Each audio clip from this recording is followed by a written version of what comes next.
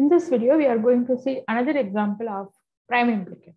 Let us consider sum of product expression, which is nothing but the min term, the following, which consists of the following min term. Plus, there are two don't care conditions. Okay, so now we'll form the group accordingly as there is no ones, there is single ones and two ones, three ones and four ones.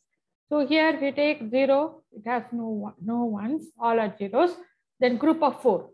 Four will consist of one ones in it binary number. Then eight will consist of one and then don't care one. Yes, that uh, that the one and two will have one in each of the binary term. So we take that also into consideration.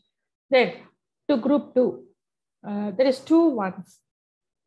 10 is having two ones, 12 is also having two ones. So, so those two are grouped together.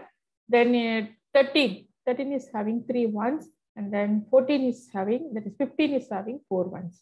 So now the groups are formed accordingly. Then we find the match as usual, how we have in, in the previous examples, we are doing that. So here, zero, uh, this and this, only one change, so that can be taken. And so we have marked them. Then uh, this and this, okay?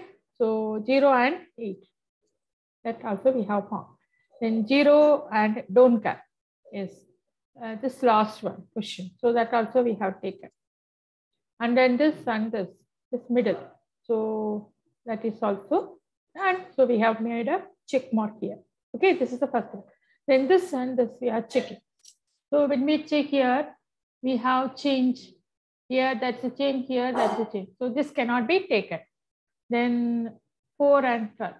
Yes, we can take this. There is only one change. So that we are taking. 4 and 12.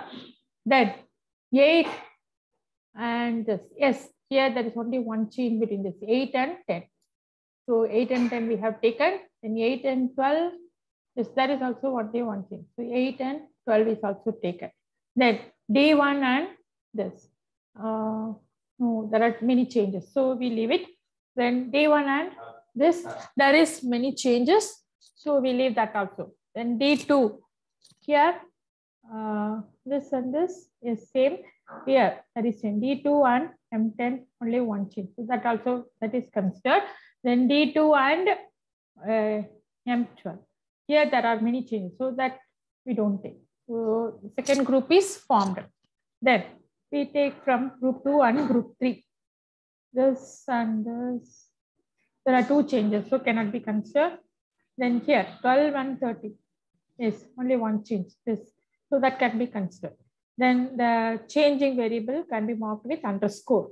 Then 13 and 15. Yes, there is one change here, so that can be considered.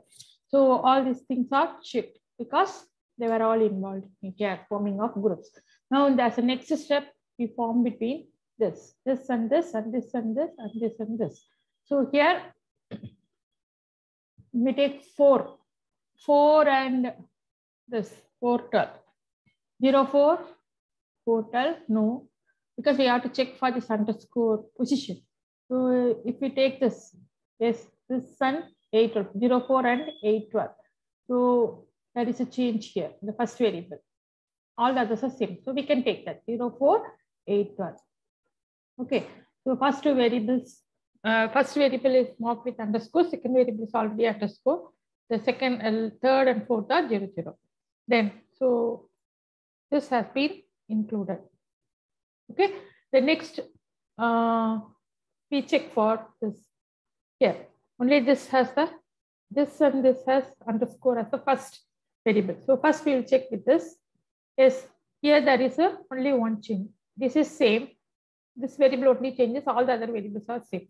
So 0, 8 and 412. 0, 8 and 412 can be taken. And uh, 0, 8, 412, the change thing is marked with underscore. Okay, then don't care. Here there is no uh, last way, the fourth variable, there is no underscore here. So we leave it. Then the 0, D2, this we consider. Uh, uh, before that, we have to check for this also. 0, 8 and this. Here there is uh, same 0, 8, 0. Only this variable is changing. So 0, 8 and D2, 10.